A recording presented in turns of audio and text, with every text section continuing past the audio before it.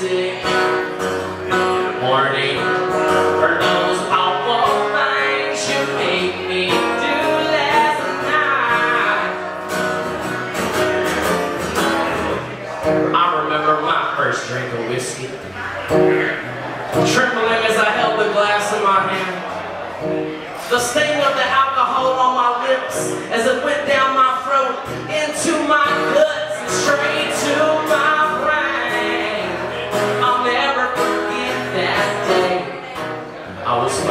real man, invincible, ready to conquer the world.